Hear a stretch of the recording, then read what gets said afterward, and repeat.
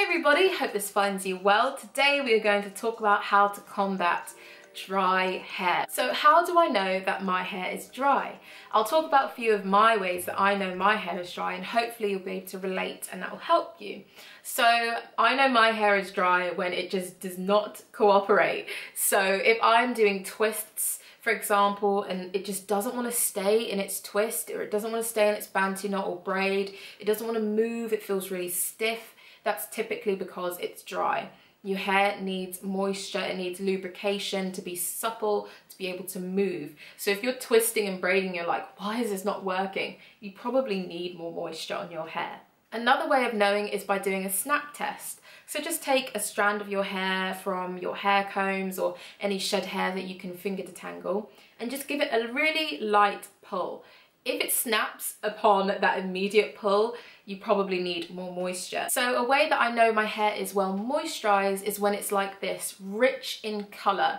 So if you have been applying lots of different products, that can build up on the hair. And you'll notice your hair kind of looks a bit dull, a little bit gray and no other moisture is getting in any further because your hair's had enough. Kinky hair in particular does not give off the shine. We don't have shiny hair, but we do have a sheen. So look for that beautiful, whatever hair color you've got, black, brown, look for that strong punch of color. Especially when I've straight away, like when I've immediately washed my hair, I can really see how much color my hair has. And that's a way of me knowing that it's well moisturized. Another way is shrinkage. And I know it can be annoying, especially if you're doing a cute hairstyle and then all of a sudden your hair wants to shrink up. But that is a sign of healthy hair. That is a sign of moisturized hair because it's taking that moisture in and it's shrinking up. It's really worth remembering that our hair is just dry by nature by birth, by genetics. If you have curly to kinky hair, it is just a drier hair type. That is, our sebum does not naturally reach the ends. So someone with straight hair will often talk about having to wash their hair regularly because it gets greasy way down. That will rarely happen with someone with uh, curly to kinky hair. And it sounds weird, like why can't the sebum go around those coils the way it does down straight hair? But if you take your finger and just rub it your scalp, get a little bit of that sebum off and then rub it together in your fingers, you'll be able to feel it's quite waxy. So it makes sense that it can't quite reach all of those kinks and bends, which is why people opt for water only washing to scrub at the scalp and pull it down. I strongly recommend scalp massages. I do that anyway to help stimulate the hair follicles and growth. But when I'm doing it, I massage and I pull down. So I'm massaging, getting that sebum as well as my oil mix on my fingers and pulling it down the strands to help lubricate and moisturize my hair. Another tip would be to do as the straight haired people do, wash your hair more often.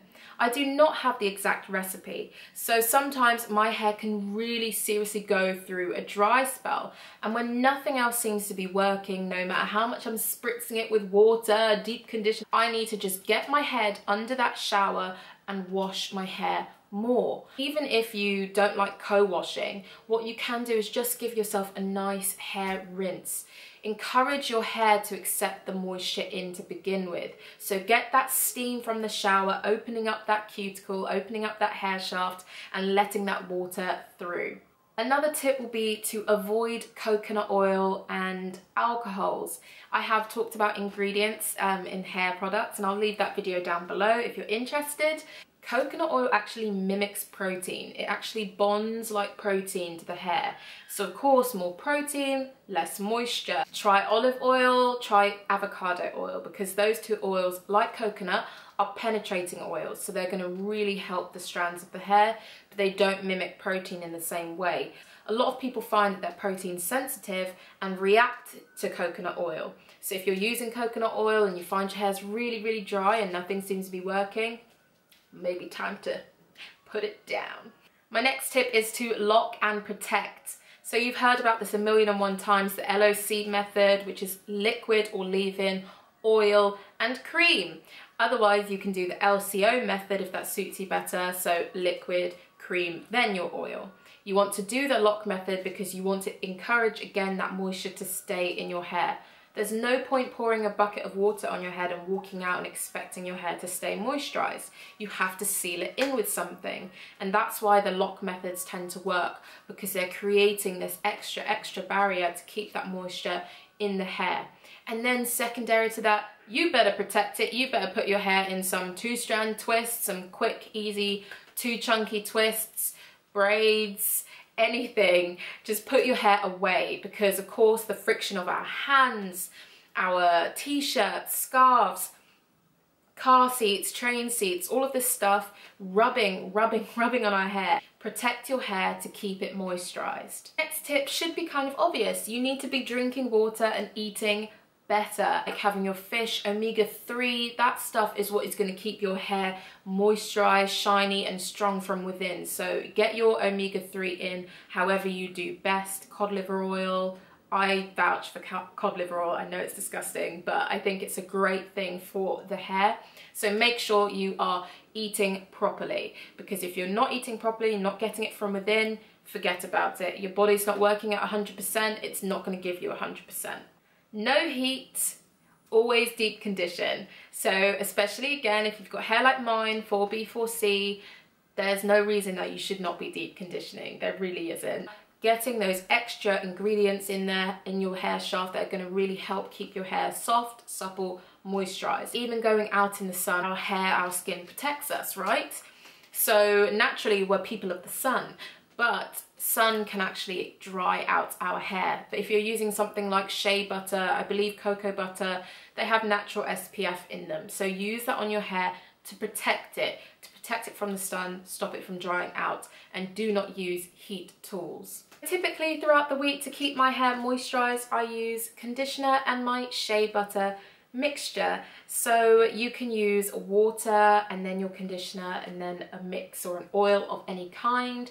I've just found that this one reacts so, so well to my hair. It really absorbs well, keeps my hair supple, lubricated, helps it cooperate with me. It's typically an actual conditioner and leave-in, but I just use it as a moisturizer and then I seal in that moisture with my shea butter.